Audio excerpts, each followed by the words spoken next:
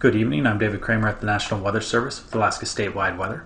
Starting off for the remainder of the day, we have a system moving up towards the western Aleutian Islands, bringing another round of rain to the central and western Aleutians. A trough moving through the central Bering Sea is bringing rain to the Pribilof Islands as well as the eastern Aleutian Islands and some lighter showers out by the Alaska Peninsula. Up the west coast as we move to the YK Delta area, mix of rain and snow by the coast, but more snow as we move further inland, and then continued snow up the coastline and through the Arctic coast. Also has some areas of fog up along the north slope.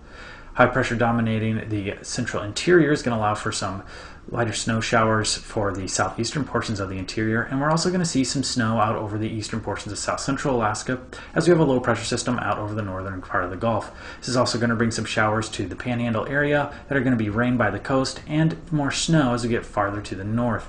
For tonight, going to see a, a similar pattern for the panhandle area with rain in many locations, but more snow as we get farther to the north some snow lingering around the eastern portions of the south central area, and some areas of fog along northern portions of Cook Inlet.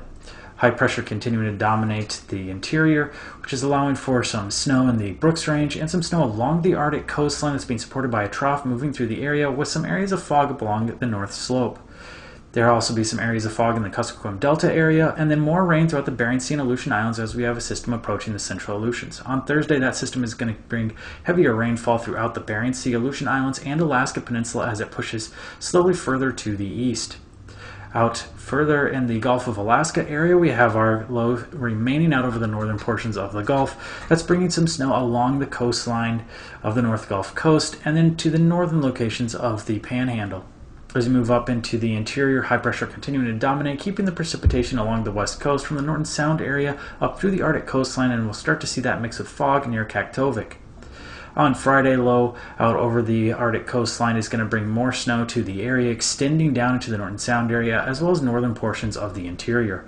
Our other system moving up towards the eastern Aleutian Islands is bringing more rain to the Aleutians as well as the Alaska Peninsula with some snow at the higher elevations. And that's going to be true in Kodiak as well. That rain on Friday not going to quite make it into south central Alaska, but we will continue to see rain throughout the Panhandle area with snow in the areas farther to the north and out in the mountains by Yakutat. With Alaska statewide weather, I'm David Kramer.